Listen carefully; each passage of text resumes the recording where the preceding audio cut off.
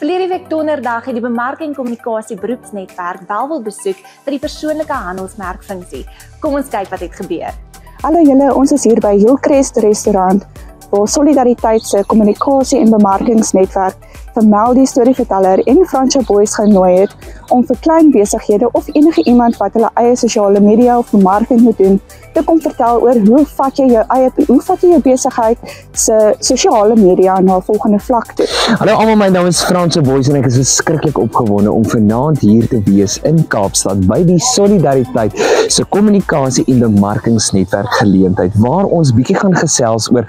persoonlike handelsmerk. Hallo, ek is Melody storieverteller en vanaand is ek by die bemarkings en kommunikasie netwerk van solidariteit en ons gesels bietjie oor persoonlike handelsmerke en ek gaan vanaand vir hierdie mense hier vertel hoe om dit te doen. Hoe gaan jy van 0 na 330 000 volgelinge?